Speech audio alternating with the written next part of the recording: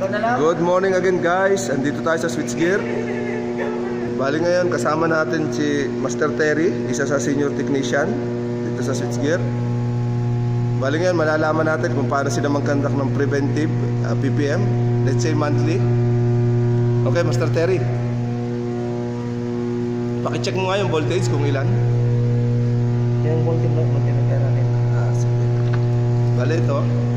May kasama namin si Jiri, isang technician from India. Where from India? UP? Yeah. Ah, Bihari. Okay, ngayon, nandito si Master Terry, mag-check siya ng present auxiliary voltage.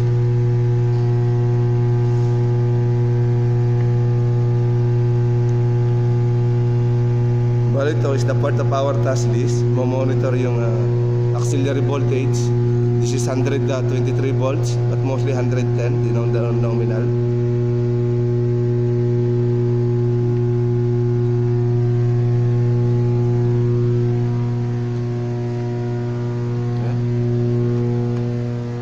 Bale, ito siya.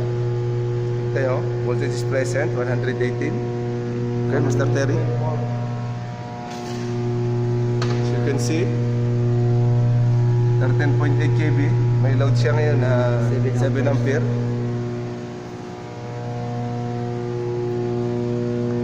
Okay, Master Terry.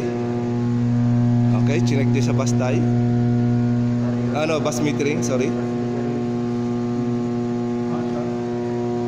Okay, even the protection relay.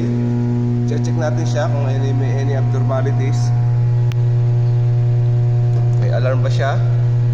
Okay, the last alarm. Okay, this is thermostat.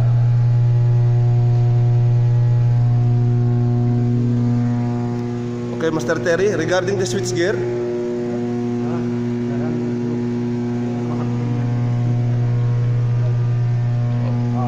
okay, Master Terry, ano pa ba yung mga chine-check natin dito regarding sa checklist? Communication, indication lang kung mayroon bang napundi. Oo. Na, Kasama rin ba yung uh, room temperature sa chine-check dito? Ah, yes. Ang temperature natin dito is Bale ito, chine-check din niya yung room temperature. nasa 16.4 16.4. sa transformer How about the transformer?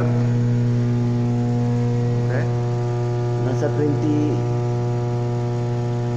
Oh, 21.5 Bale ito, check din yung sa protection ng transformer. ito po ang tinitest namin yung ano sa transformer line 1 line line Okay ba? This is a three, uh, three sensor. 2 line 3 line 1 line 2 line Mali may Line set point siya dito na 140 to 153. 140 for alarm.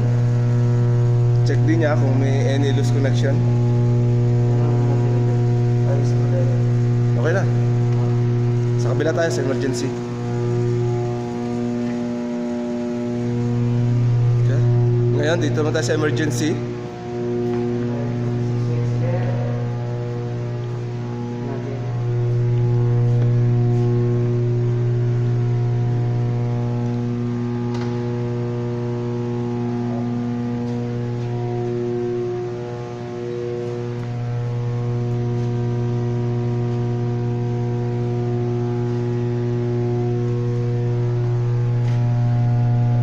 It's the same from the normal and emergency.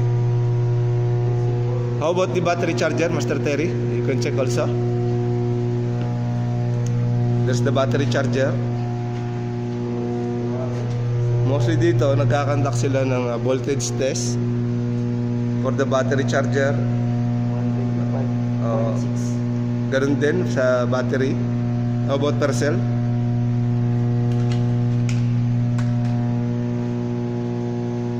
Uh, this 2.6 Percel.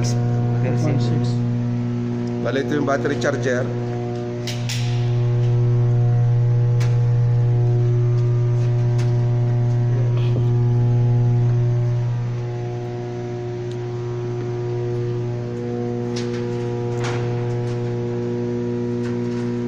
Okay.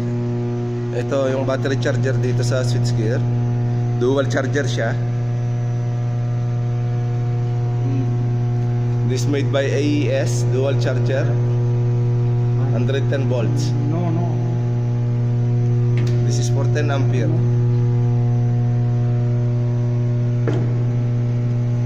Uh, 125. 0.6. Bali ito yung main job ng isang ah, medium voltage technician.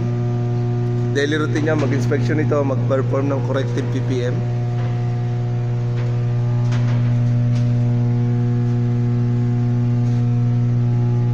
Bali, thank you tayo kay Master Terry kasi nagbigay siya ng simple instruction para sa PPM. Ganun din kay Jerry from India. Okay, thank you. For the next uh, video, we can make from other switchgear.